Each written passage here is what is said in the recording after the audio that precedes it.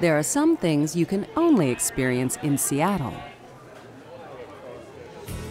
Thankfully, world class heart care isn't one of them.